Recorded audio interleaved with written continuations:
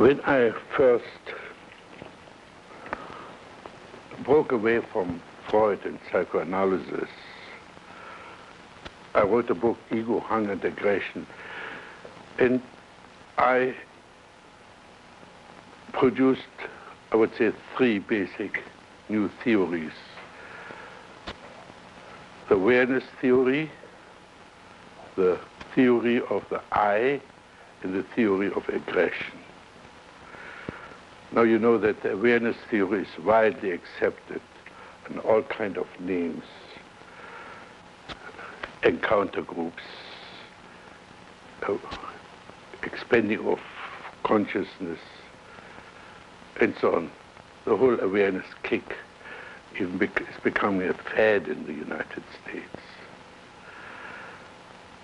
A little bit is accepted as the idea of aggression being not a bad thing, but a biological function of the organism, especially of the teeth and assimilation. Aggression is too often equated with hostility and so on. Again, I don't want to go into the details of this theory, only mentioned that this aggression is required to assimilate the world. If we don't assimilate what's available, we can't make it our own, part of ourself. It remains a foreign body in our system. Something which Freud recognized as introjection. And this leads us to the theory, the ego theory. Freud saw the ego, which in German is the same as I, as a conglomeration of foreign substances, which, if it's true, would always remain a conglomeration of foreign bodies in our organism. Now, here's again where the merit of the Gestalt approach comes in. A Gestalt is always differentiated between foreground and background. In the foreground, relation to the background is called meaning. In other words, according to my idea, as soon you tear something out of its context, it loses its meaning or distorts its meaning. Now, this figure-background relationship applies very much to the I. The I is an identification symbol. If I say, I'm not hungry, take the context, I want to eat very badly, and I visit a person to whom I feel very hostile. I don't want to accept his hospitality. And he says, would you like to eat something? And I say, I am not hungry. A lie. Now let's assume we're going out for lunch. and uh, ask you, would you like something more after lunch? You say, I'm not hungry. That's true. You identify with your state. So the I is an identification symbol. If I say I, I can identify myself with the role I'm playing, I can identify with my computer, I can identify with my authentic self. So the I mainly indicates the identification function with. Now see how this links up to our whole neurosis treatment. We said in a neurosis, the parts of the personality are all alienated. If we identify with these alienated parts, we can now get ready to assimilate these disowned parts and grow again, become more whole. Uh, now I would like to integrate more the idea of the dream work and the total identification work. So who, who wants to work on a dream?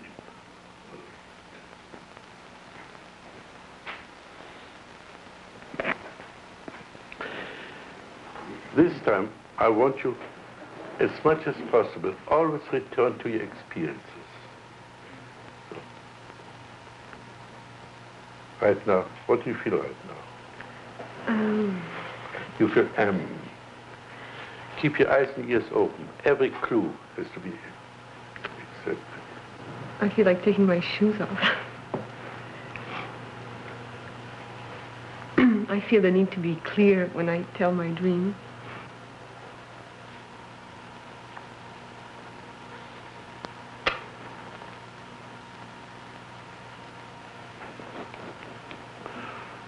Okay? Uh, the dream, I, I have to say, I experienced when I was very young, maybe about eight years old, and I've been experiencing it even lately. Uh, I'm standing on the shore. The shore is sort of sandy and soft. There's wood around me. And in front there's a lake that is very round, but I don't see the other end of the lake where I'm standing right now. But the lake I know is very round. Or I find it out later. But I feel it's very round, very circular, not an edgy shore. It's a very soft lake. And the light is very beautiful. It, it is, it's not sun, but it's very bright in the sky. Yeah. Let me already work on the dream a bit. Be the lake. And lake, tell me your, your story. Uh, a lake, when you- want to tell me your story. Be a lake and tell me your story. Um, I'm a I'm a round, round lake. Uh, I I sort of feel perfect, a perfect lake. I my water is very good and soft to the touch. Uh, To whom are you talking? to myself. Now, you know the third law in Gestalt therapy. Do unto others what you do unto yourself. So talk to us. Um, You're the lake. I'm the lake. You you would like to come in, in me, in my lake, in this lake, because it, it's it's very beautiful and the water feels very good. The second law in Gestalt therapy. Don't say it's the I or you. Uh, You notice I'm beginning to become very officious. you, you would like to come into me, you can swim into me very easily, and there's no nothing mucky in my bottom. My bottom is of pure sand. And I know if, when you come in the middle of my lake, there's a surprise. There's something that you don't know, and it might frighten you, or, or you might like it very much. But there's something right in the middle of, of, of me on the lake that, that is very strange, and you have to swim or row to get to it. You, you don't see it from the shore, so it, it's really worth swimming to go and see it. See it? see me. See this again to the group. It, it's worth swimming in me or taking a, a boat. Who Not a power it is boat. well? Ah, it, it's worth to you. Who is it? It is well. The- it is worth. Don't say it. I, I, I am well. I am worth you swimming or taking a boat to come and see what's in the middle of the lake because it, it's a surprise. It is a surprise. Uh, I am a surprise that might you might not solve the surprise though. It's a it- it's a, in I have in the middle of my lake I have a statue, or it's a little boy, and he's pouring water, but many people, I when I go in that lake and I come to drink the water, I, I wake up. So maybe when, when Wait, you... wait, stop here. Close your eyes. Go on dreaming. Now, the waking up is a beautiful gimmick to interrupt the solution of a dream.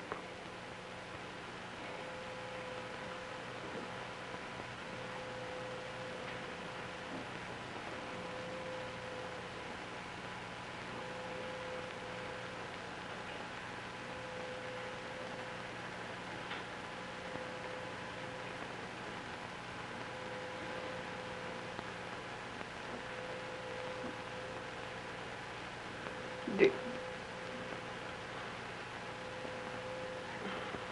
Hmm? You came back to us. Did you go on dreaming? The same dream? I, I, it took a long time before I, I, I came to the dream. I saw the light, light in my eyes, and a feeling of, of very busy, Exaggerate this. Come on, very busy. dance it.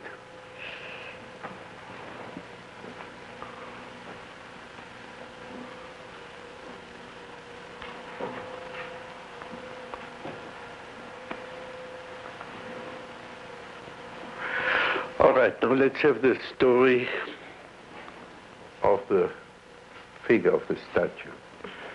You're now the statue. I'm a statue in the middle of the lake. To whom I'm, are you talking? huh? To whom are you talking? I, I was trying to talk to Helen.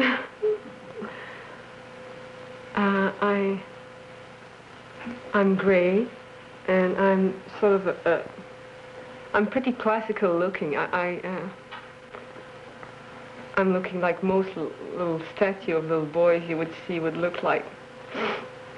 And I hold a, an amphora, or is it is a vase that, that has a, a small neck and big in the bottom. And I hold it, and though I'm immobile, I pour it. And the water is, I pour this water in the lake. I don't know where it comes from, but this water is extremely pure, and, you, you would really benefit from drinking this water. You would feel all good all over because you had water on the outside of your body. From the lake, I am sitting in the middle, and, and, and, and the, the water is really good outside your body. But then you, I really want you to drink the water I'm giving from my uh, vessel because it, it will really make you feel good inside also. But, but I don't know why, because sometimes you cannot drink it. You just come to drink it. You're all happy. You're swimming. You want to drink it, and then you can't drink it. But I can just, I cannot bend to you. I just ca- can keep on pouring my water, and then I'm hoping that you come and drink it. So this again to you. Last sentence. I, I cannot come down and, and, and give the water to you. I just can keep on pouring it and hoping that you'll come and drink it. I just can't keep on pouring it. Okay. Now play the play the water. Tell us. You know the water. In, in the vessel. Yeah, the water in the vessel. What's your script? What's your story, water?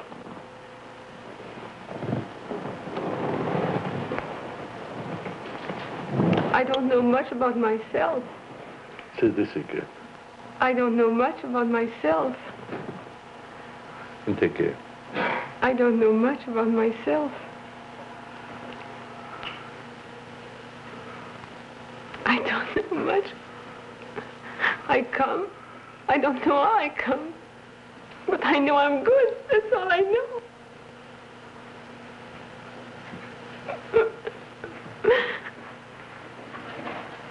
I would like you to drink me because I know I'm good. I, I don't know where I come from. I'm in that big vase. It's black vase. It's Now get up, say this to each one of us. Stand up. Go to each one of us and tell us this. This is the water. I, I'm water in, in a vase. And I don't know where I come from. But I know I'm good to drink. I'm water in a vase. Well, use your own words now.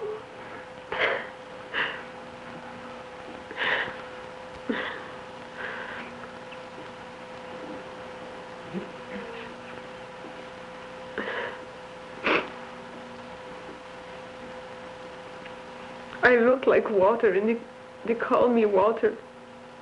And I'm just there in the vase. And, and there's no all in the vase. I don't know where. I, nobody. I'm just there all the time, and I'm just pouring out. And I'd like you to drink me. Go on to the next. Uh, I'm there. And I'm, I'm white and pure. And if you ask me where I come from, I cannot tell you, but it's a, it's a miracle. I always do it. Always comes out, keeps on, keeps on, just for you to drink me. I cannot tell. You have to get out of the other water and come.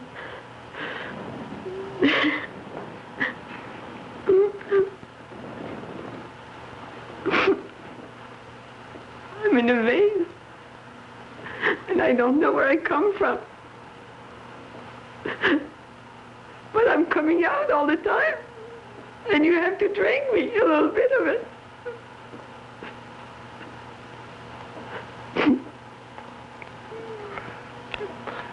Now, what are you doing with yourself? I'm holding myself. Do this to me.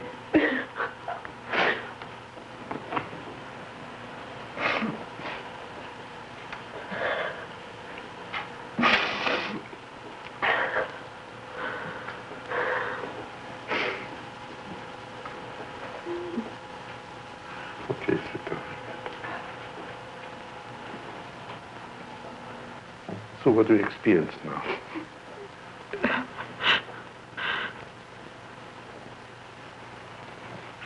I feel I've discovered something. Yeah, what?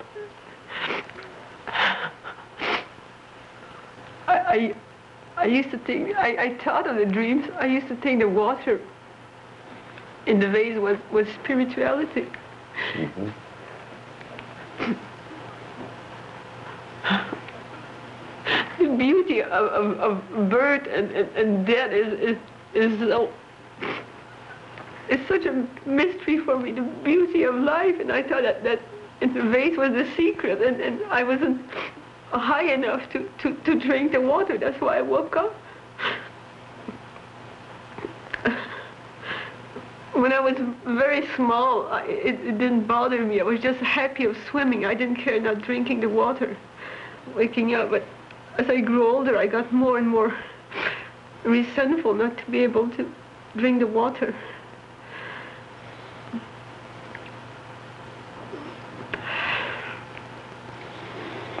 All right, this again, uh, as far as I want to go.